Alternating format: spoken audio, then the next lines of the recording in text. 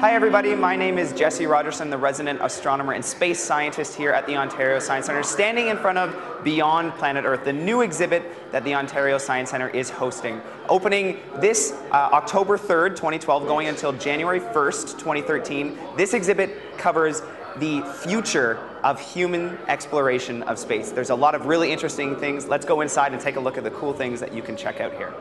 I'm standing here in front of the Mars Science Laboratory, a full-scale model of the Curiosity rover that was just landed on Mars August 6th by NASA. This is a powerhouse of a laboratory, literally a mobile laboratory. It has 10 science instruments on it, and I'm standing in front of a full-scale model. To see the size of something like this is amazing, and you can actually see it here at the Beyond Planet Earth exhibit.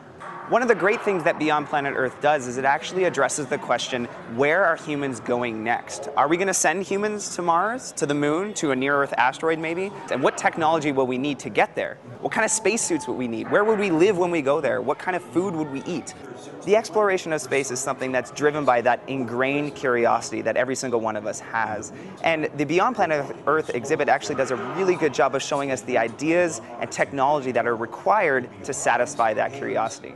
This exhibit was developed by the American Museum of Natural History in New York in collaboration with Madatech in Israel and will be here at the Ontario Science Centre from October 3rd, 2012 to January 1st, 2013. It's included with regular admission here at the Ontario Science Centre, so I encourage everybody to come down and check it out.